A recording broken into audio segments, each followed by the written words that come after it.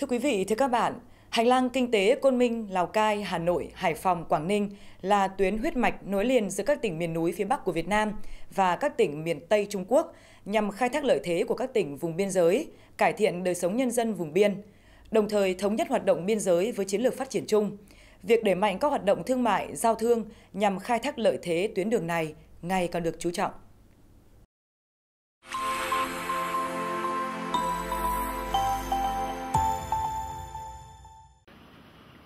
Thủ đô Hà Nội có vị trí địa lý chính trị quan trọng,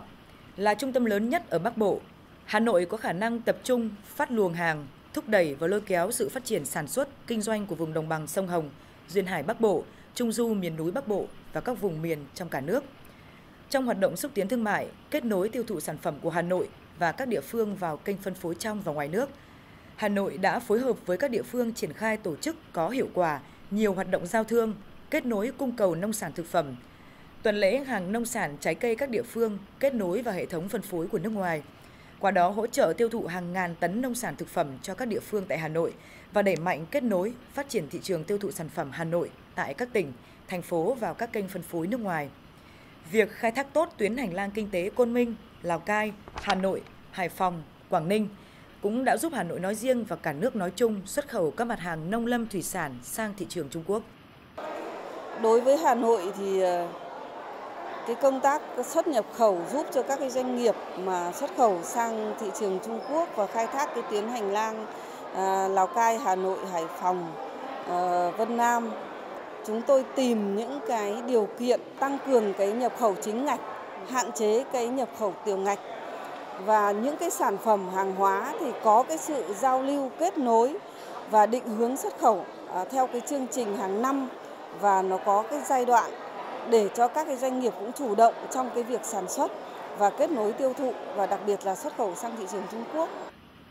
Cũng như Hà Nội, đối với tỉnh Quảng Ninh, ngoài việc thúc đẩy mạnh sản xuất kinh doanh và các sản phẩm nông lâm thủy sản, Quảng Ninh còn tập trung cải tạo giao thông vận tải. Hiện Quảng Ninh đang hoàn thiện kết cấu hạ tầng, phấn đấu đến hết tháng 7 năm 2018, thông tuyến cao tốc Hà Nội, Hải Phòng, Hạ Long, Vân Đồn. Trong quý 3 năm nay sẽ khởi công dự án cao tốc Vân Đồn Móng Cái, và hoàn thành công trình vào cuối năm 2020. Cao tốc này khi nối với cầu Bắc Luân 2 sẽ hình thành khu hợp tác song phương Móng Cái, Quảng Ninh Việt Nam, Đông Hưng, Quảng Tây Trung Quốc. Bên cạnh đó thì sân bay quốc tế Vân Đồn với chiều dài đường băng là 3.650 m, được đánh giá là sân bay hiện đại, đang được gấp rút hoàn thành và dự kiến đón chuyến bay thương mại đầu tiên vào cuối năm 2018. Là một trong 12 tỉnh nằm trong cái hành lang kinh tế, ờ, phát huy cái lợi, cái lợi thế đó thì ờ, tỉnh Quảng Ninh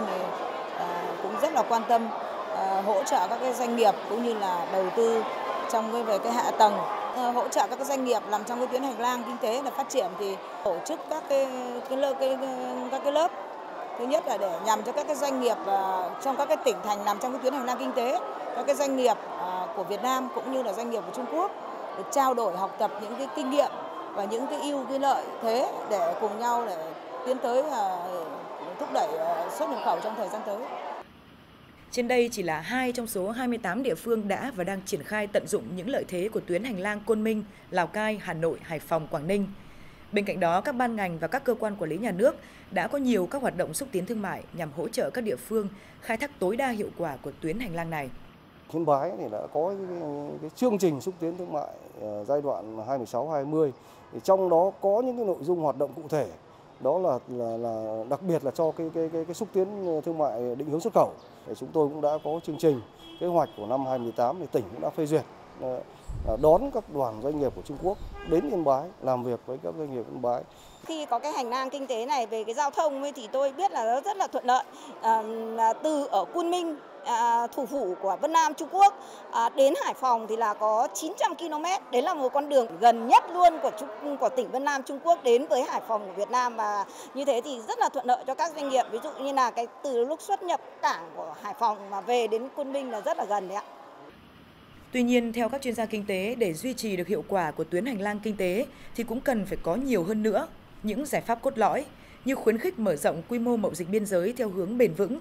tích cực đàm phán triển khai mậu dịch quá cảnh và chuyển khẩu theo thông lệ quốc tế, đẩy mạnh hợp tác phát triển thương mại điện tử một xu thế tất yếu của cuộc cách mạng công nghiệp 4.0, cải thiện kết cấu hạ tầng, thuận lợi hóa thương mại, thu hút đầu tư trong nước và nước ngoài vào các khu vực biên giới. Có chính sách cụ thể trong việc xây dựng và mở rộng các quan hệ kinh tế với các địa phương trong vùng kinh tế trọng điểm Bắc Bộ, vùng đồng bằng sông Hồng nhằm phối hợp khai thác tiềm năng xuất khẩu và dịch vụ của cả vùng, đẩy mạnh các dịch vụ logistics. Trước mắt hình thành khu liên cơ quản lý các loại hình hàng hóa kinh doanh tạm nhập tái xuất, dịch vụ tạm nhập tái xuất, chuyển khẩu, hàng hóa quá cảnh, đặc biệt là mặt hàng thực phẩm tươi sống, vân vân. Lào Cai là cầu nối trên cái tuyến hành lang và chúng tôi xác định sẽ uh, tiến tới sẽ trở thành cái điểm trung chuyển của vùng Tây Nam Trung Quốc với lại Việt Nam và khối ASEAN thì ờ, Lào Cai còn phải làm rất nhiều việc. Thứ nhất là đối với cơ sở hạ tầng tiếp tục nâng cấp cái ờ, tuyến đường cao tốc. Cái thứ hai nữa là mở cái tuyến đường đường sắt cho hợp hợp khổ 1435 giữa ga Lào Cai với ga Sơn Yêu của Trung Quốc. Thứ ba nữa là tiếp tục cải cách hành chính và tiện lợi hóa thông quan. Hy vọng với những giải pháp căn cơ, những nỗ lực từ nhiều phía, tuyến hành lang kinh tế này sẽ đem lại hiệu quả thiết thực, góp phần đưa kim ngạch thương mại Việt Nam Trung Quốc đạt mức 100 tỷ đô la Mỹ trong năm 2018 như kỳ vọng của chính phủ hai bên.